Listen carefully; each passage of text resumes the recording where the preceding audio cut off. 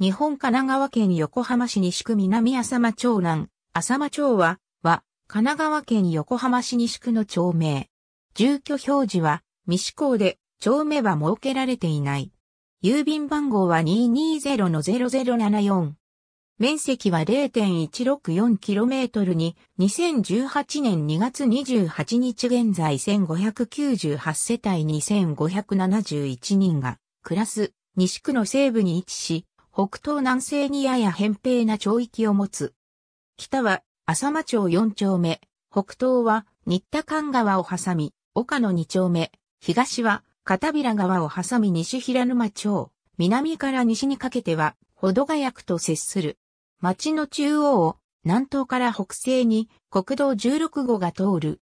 住宅のほか商店や事業所が多く、北東部には横浜油脂工業の本社、工場がある。南西部にある社宮寺公園は浅間町にある幸福寺の鎮守の社宮寺大権現に由来する。町内に鉄道路線はなく、西平沼町にある相鉄本線西横浜駅が最寄りとなる。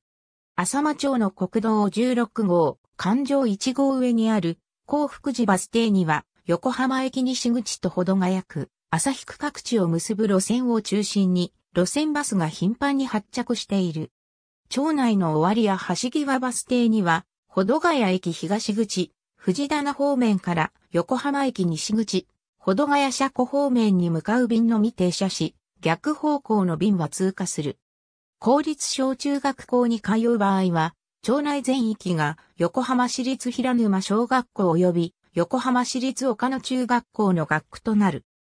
かつては片平川の河口の入り江に近く、片平川沿いの一部は1761年に開拓された法暦神殿及び1780年の安永に行った北東端の横浜油脂工業の付近は1786年に藤江萌門により開拓された藤江神殿にかかると考えられている。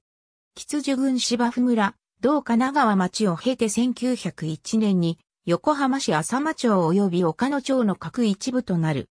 1936年11月1日、横浜市神奈川区浅間町は座台に行った鹿島、社宮寺及び岡野町の各一部から南浅間町を新設。町名は浅間町の南方にあることから付けられた。1943年に神奈川区から中区に編入され、1944年4月1日、中区から西区が新設された際には西区に編入された。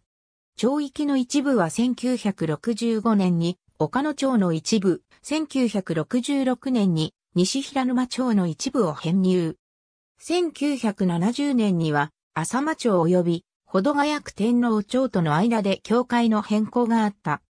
1932年に桜井染五郎により足の茂る荒れ地が埋め立てられ、同年7月に新天地桜稲荷神社が建てられた。この周辺には1933年に新天地遊郭ができた。1945年、20軒あった店は横浜大空襲により4軒を残して消失した。戦後はカフェが増え、赤線地帯の新天地カフェ街となった。新天地桜稲荷神社は、1955年に浅間町公益室店舗前から尾張屋橋沿いの現在地に移転している。1958年3月に売春防止法が制定されることになり、業者はその1ヶ月前に一斉に自主廃業した。ありがとうございます。